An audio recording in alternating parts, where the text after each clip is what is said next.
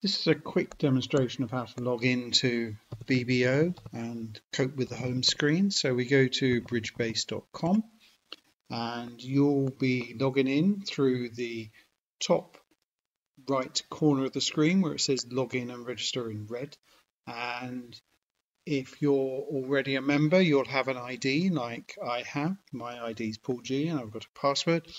If you don't have an ID, click on become a member, which is free and assign yourself an ID.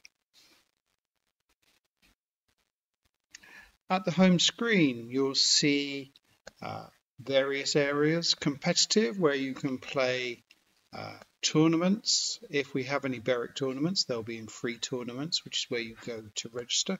Just go to the event, click on it, and you'll need a partner, and then they'll need to be online at the same time.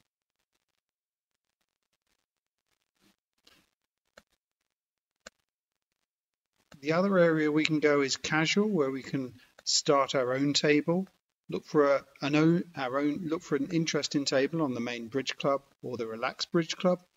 Or if you go to all private, public and private clubs, then you can find the ACOL Bridge Players Club, which has a number of tables in play, only one with uh, empty spaces at the moment, but there are often spaces here. And you can just click and sit in here. If you have a partner, get them to sit in the opposite, in the seat next to you once they've seen where you're sitting. Also on the front page on the right hand side there is the Peoples tab which shows you all of your friends. As you see a fair number of mine are online because they're watching Vugraph at the moment.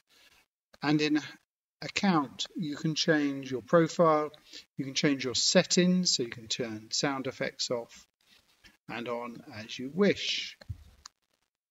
As I said, a number of my friends are here watching Vugraph. So if you go to Vugraph, you can see all the tables that are being played. It's the final of the European Winter Games at the moment. And you can see that Zia has got almost 3,200 kibitzers watching him. And that's the start of BBO.